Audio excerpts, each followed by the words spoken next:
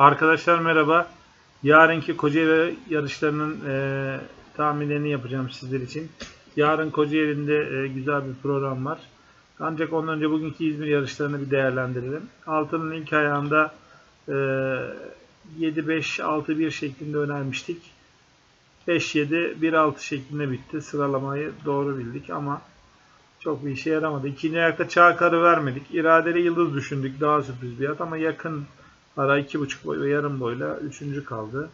Glabella uzak kazanıldı. Bizi yanıltmadı. Banko vermiştik. Oğuz boylunu banko olarak verdik. 4 boy startta kalan Çaltepe'ye bile e, geçildi. At bozuk. Bir derdi var. Bir sıkıntısı var. Onu bulamıyorlar muhtemelen. Ben onların yerinde olsam bir süre atı dinlendiririm. Koşturmam.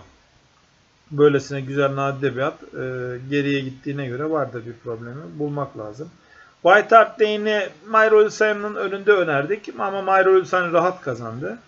Ve son ayakta e, 800'lerde 600'lerde son 3-4 yarışında 600'lerde 800'lerde yarışı bırakan Arbedaş bugün için çok iyi koştu, dirençli koştu ve kazanamayan Asi Kalp'i bir kez daha mağlup etti açıkçası. Şaşırdım Arbedaş'ı ben tutmuyordum. Yarınki Kocaeli yarışlarına tahminlerine geçelim.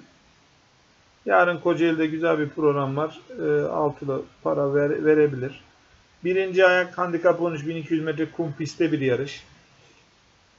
Süratli geçmesini beklediğim bir yarış. E, Hüsnü gibi, Goldfish gibi, Persian Prince gibi, Ejrin Sultan gibi hızlı atlar var. Dolayısıyla bekleyen atların şansının biraz daha arttığını düşünüyorum. Gerçi Ejrin Sultan 2-3 de gidebiliyor. İlk şansı 3 numara Lord Admiral'a, ikinci şansı 5 numara Ejrin Sultan'a veriyorum. Daha sonra 1 numara Uğurhan, 2 numara Mr. Policeman ve 4 numara Persian Prince şeklinde değerlendiriyorum arkadaşlar. Altının ikinci ayağı 1400 metre kum pistte dişilere ait bir yarış.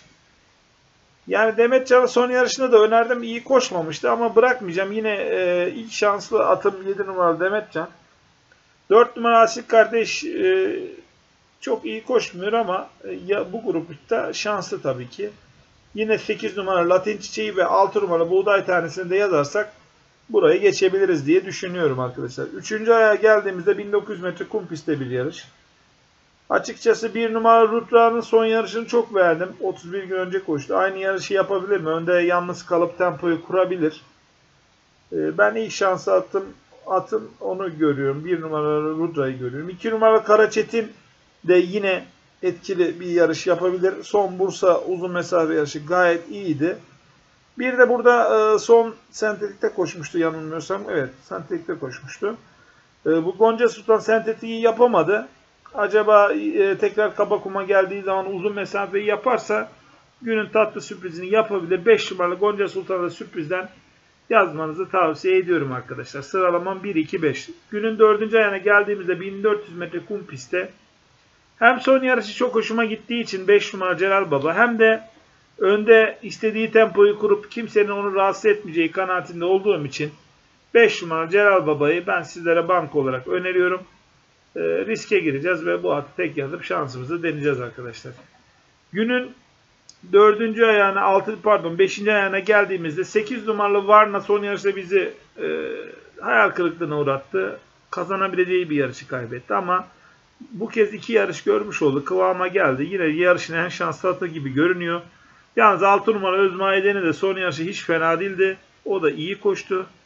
8-6, ee, 6-8 şeklinde tavsiye ediyorum arkadaşlar. Günün son ayına geldiğimizde 12 e, numaralı Kolaçan, 13 numaralı Erginsoy, 15 numaralı Nalezen, 6 numaralı Can Yoldaş, 3 numaralı Cahit Ağa ve 5 numaralı Alperen Can'ı sizlere önermekle beraber bu atları başta öneriyorum. İmkanı olanlar, gücü olanlar sonraya hepsi yazsınlar. Geçen günkü Bursa'da olduğu gibi garip bir at gelebilir. Ee, ama gücü olmayanlar o bahsettiğim 6 atı öncelikli olarak değerlendirsinler, yazsınlar. Dediğim gibi ters bir at gelebilir. Ee, açıkçası çok güven veren atlar değil. Hep birbirlerine üstünlük sağlayan atlar. Ee, koşacağım derse hani can yoldaş bunları belki geçebilir ama ona da güven olmuyor. Bir, bir bakıyorsunuz 10 boy startta kalıyor. Bir bakıyorsunuz 5 boy startta kalıyor. Kolaçan sürekli tabelada geziniyor ama kazanmayı beceremiyor. Yani atları özetliyorum burada. Ergin Soy Ee, Son iki yarış fena değil ama yine de belli olmaz. Çok güven veren bir at değil. Zaman zaman o da startta kalıyor. O yüzden dediğim gibi ilk önce 12 numara Kolaçan, 13 Erginsoy, 15 Nalezen, 3 Cahit Ağa, 5 Alperencan ve 6 Can Yoldaş'ı önde veriyorum. Hatta daha sonra 8 numara Eren Bilge de bir yarış gördü. O da değerlendirilebilir ama imkanı olanlar hepsi yazsınlar. Ee, bütçelerine eğer uyuyorsa hepsi yazıp şanslarını denesinler arkadaşlar. Kanalımıza abone olursanız ve videolarımızı beğenirseniz seviniriz. Mesajlarınızı bekliyoruz. Ee, WhatsApp grubumuza dahil olmak isterseniz aylık 50 TL ücretlidir. Numaramız 0545 625 50 93 numaralı telefona mesaj atabilirsiniz veya arayabilirsiniz arkadaşlar. Herkese sevgiler, saygılar, hayırlı akşamlar ve bol şanslar diliyorum. Hoşçakalın arkadaşlar.